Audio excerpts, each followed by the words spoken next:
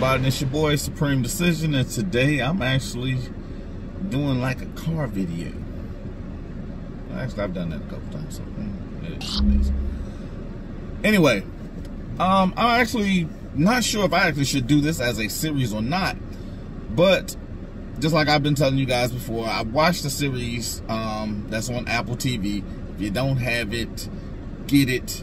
I got a free subscription with the iPhone 11 and what happens is I'm watching Defending Jacob.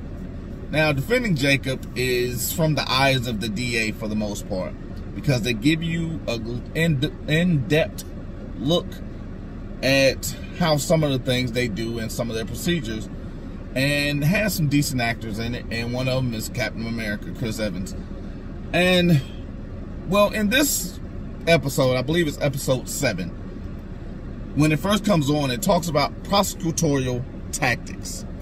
Now, a lot of people don't think these things are prevalent simply because we don't see them very often because I told you, the one thing the prosecution does not want is a trial. But some of the things they do if there's a trial that goes on is some of the tactics they try simply from human nature.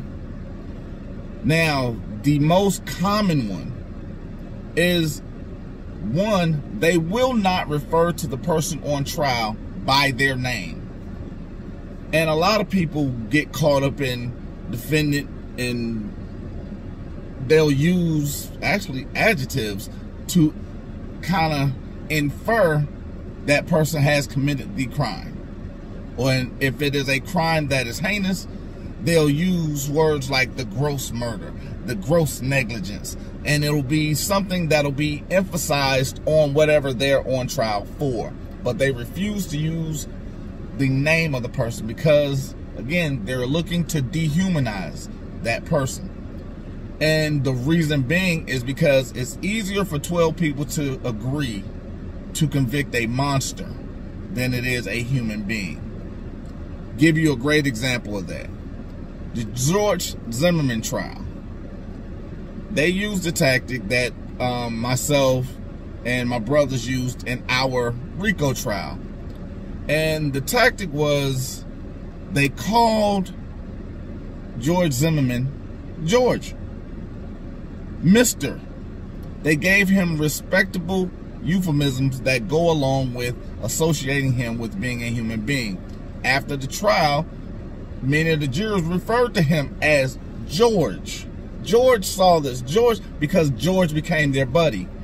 In our trial, we took away the ability for them to say anything about us by simply pointing out that not the state of Georgia, but John Melvin didn't do this, or John Melvin did that. Why? Because it comes to part two, or 1A. And that means we have to give them someone to blame. That's why a lot of times when you see people that are going through certain things and they're going through the trial and you're wondering why they're convicted and there's not really a lot of evidence, there was nobody else for the jury to blame. So they got somebody sitting there. They've got somebody because they got to believe that our system is just and they also have to believe that the people that are protecting these freedoms are correct. So that's why they give you a conviction when you're sitting there. And generally, it's not something meaning that you are guilty, but they don't have anybody else to blame. That's why you can't use the, oh, it was the one-armed man, because the one-armed man isn't there. People need tangibility. They need something they can touch, look, and feel. And that's one of them. But part two of that is, just like I spoke about the jury referring to George Zimmerman as George or Mr. Zimmerman, the prosecution looks to make a connection with the jury. This is also something you, as someone that's on trial, should also look to do. Because again, the connection, whoever they connect with the most, is the one that they will side with.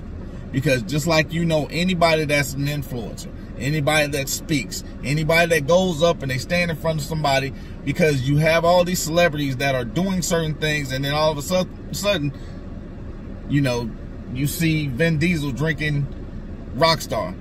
Guess what? Rockstar just sold another 200,000 cases. Why? Because people are following the lead of Vin Diesel.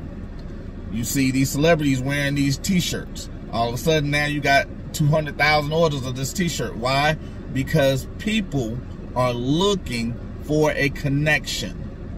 And again, you connect with the jury, there's a better option for you to convince 12 people, or even in some cases, six people, that whatever your story is, whatever picture you're painting, that's what they should believe. That's what they should side on. And you also have to work on other things such as appearance. One of the things that was brought forth in our trial was the fact that I did not look like a defendant.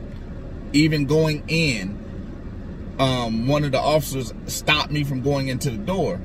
And he told me, he said, no, the attorneys go in on the other side. And I was like, no, I'm one of the three that's sitting up here. And the thing about it was the fact that I looked like something other than what I was being accused of. Because a lot of times what happens is we want to get caught up in the mindset, oh, I can wear whatever I want to. You can. The problem is the people looking at you are judging you, whether you like it or not.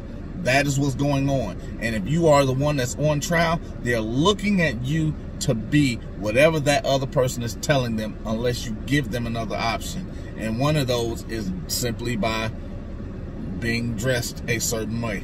That's why you see women in certain trials dressed with a skirt on. Certain trials they're dressed with pants on. Certain trials they're they're looking with their hair down. They don't have the teacher look. And then in other trials you do see them with the teacher look. And what I mean by that, they look like librarians. Or half the time, because even in the um, young lady that killed her husband, her trial, she didn't even look like the person that was on trial. Because when she was arrested, she had red hair, she had all kind of crazy contacts, she was missing a bunch of teeth. But by the time she went to trial, she had long blonde hair. She had, she looked like she was from a Mormon compound somewhere. I don't know, but at the end of the day, she played a part and she went home. Now, does anybody believe the actual facts of the case? No, because a lot of the lawyering was challenging everything that the prosecution had. But this is also, these are tactics that we need to know going in. In the mastering or the master class series, I'm going to get deeper into things like this. And this is one of those means of helping you understand how to win so next month, starting June 1st, we are going to start putting together the masterclass. Everybody that's not a member, you will not be even privy to what's going on in them. There will be other things just like this that I'll be putting up because I'll continue doing the free services. But just keep that in mind. Understanding these tactics. There are more. I'm going to get into them gradually. So everybody that's donating, I appreciate you guys. Today's video is brought to you by Clarence. So we also want to give a shout out to Robin. And we also want to give a shout out to Doug and KD. Because KD put 50 on it. So thank you guys for watching. Keep donating. The links are in the description. Get ready to sign up for the memberships because everything's coming. We're going to keep going. We're going to keep growing. And the merchandise will start next month. Until next time, Supreme out.